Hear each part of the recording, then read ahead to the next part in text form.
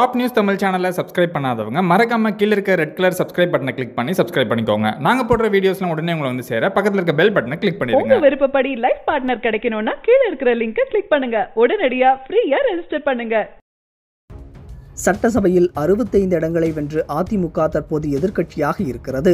அதிமுகவுடைய சட்டசபை குழு தலைவர் அல்லது எதிர்க்கட்சி தலைவர் யார் என்பதில் நீண்ட நாட்களாக குழப்பம் ஏற்பட்டு வந்தது. சென்னையில் அதிமுகவுடைய எம்எல்ஏக்கள் கூட்டம் நடைபெற்றது.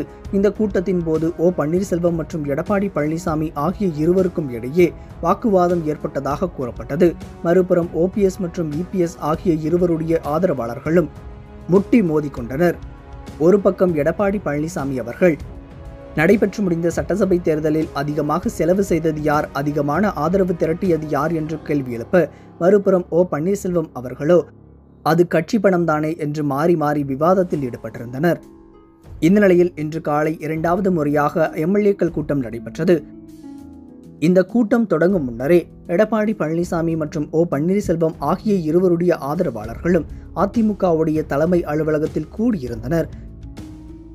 இந்த நிலையில் எம்எல்ஏக்கள் கூட்டத்தில் ஓ பன்னீர்செல்வம் மற்றும் எடப்பாடி பழனிசாமி ஆகிய இருவருடைய தரப்பும் எதிர்க்கட்சி தலைவர் பதவிக்கு மாறி மாறி விவாதத்தில் ஈடுபட்டதாக கூறப்படுகிறது. இந்த நிலையில் இருவருமே வேண்டாம் முன்னாள் சபாநாயகரான தனபால் அவர்களை எதிர்க்கட்சி தலைவராக கூறலாமே என்று ஓபிஎஸ் தரப்பு முன்மொழிய அதனை இபிஎஸ் தரப்பு வந்து எதிர்ப்பு தெரிவித்திருக்கிறது.